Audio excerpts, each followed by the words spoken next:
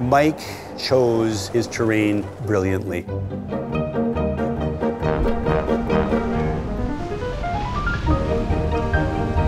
I'm a little biased, but it's the best skiing in the world. You know, you can't explain it to you up there and skiing it, breathing it, and smelling it.